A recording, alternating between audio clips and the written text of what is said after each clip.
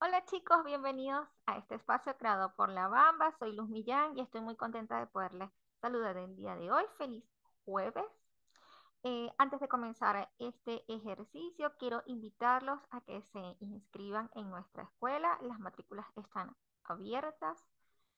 Em, en esta oportunidad vamos a hacer un ejercicio de comprensión lectora.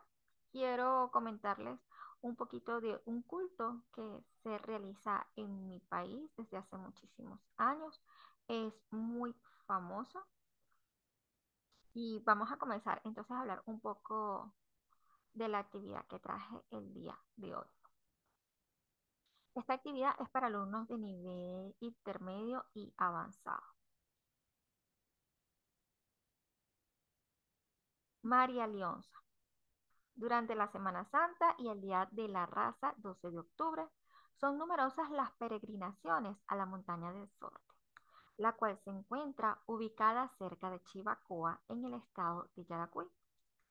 A este lugar llegan los devotos con el objeto de hacerle todo tipo de peticiones a María Leonza, las cuales pueden ir desde la cura de enfermedades, la solución de problemas de amor, hasta la obtención de riqueza o poder.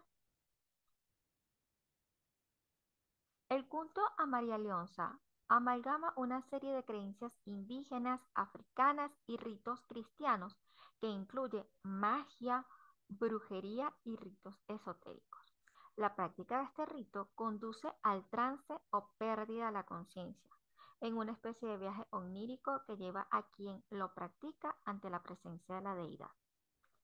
El monumento natural, Cerro María Leonza, es muy visitado en días de festividades religiosas, en especial el Día de San José, la Virgen de Coromoto, la Virgen del Carmen, Semana Santa y 12 de octubre. Se accede por carretera desde Caracas por la autopista regional del centro hasta San Felipe. Luego hacia Chivacoa, Sorte, Quiballo y El Oro. Caminar a través del fuego, quemándose y cortándose. Estos son solo algunas de las formas que miles de venezolanos rinden homenaje a una legendaria diosa indígena.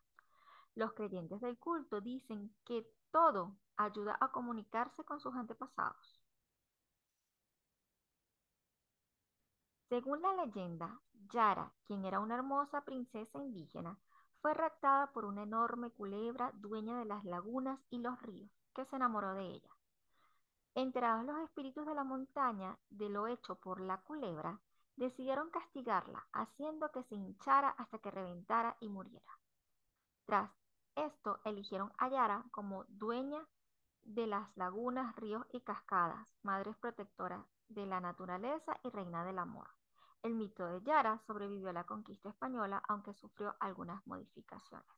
Como pueden observar en la imagen, esto es un altar donde se le rinde culto a María Leonza. Eh, la figura que está en el medio es María Leonza. Y hay muchas creencias, sobre todo en la montaña del Sorte. ¿En tu país hay alguna historia parecida a esta? María Leonza es conocida como Yara, según la lectura. Eh, la pregunta número dos, ¿verdadero o falso? Puedes retomar la lectura cuantas veces sea necesaria.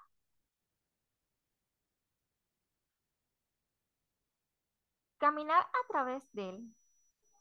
Y estas solo son algunas formas en las que miles de rinden homenaje a una legendaria diosa indígena. Los creyentes del culto dicen que todo ayuda a comunicarse con sus antepasados. Si recuerdas las palabras, puedes completar los espacios en blanco. Si no lo recuerdas, no hay problema. Puedes retomar la lectura y ubicar las palabras o los verbos en los espacios en blanco. Por último, con ayuda del diccionario busca las siguientes palabras, devotos, trance, deidad, onírico. Es bien importante que comencemos a utilizar el diccionario cuando hay palabras que no tenemos el, el significado preciso.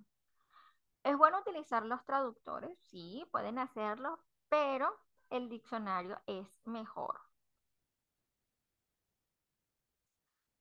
Bien, chicos, por aquí terminé esta actividad el día de hoy, que es bien corta, pero tiene bastantes palabras para enriquecer el vocabulario. Esta creencia es muy famosa en mi país. Se dice que en la montaña del Sorte se puede sentir la magia, puede sentir muchísimas cosas. Yo nunca he ido, no he tenido la oportunidad de conocer la montaña del Sorte, pero sí hay muchas películas y muchas historias y documentales relacionados con esta leyenda.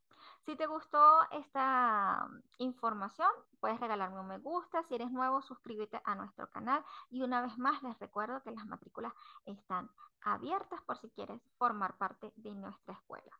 Muy bien, nos vemos el próximo jueves y muchos besitos. Hasta la próxima.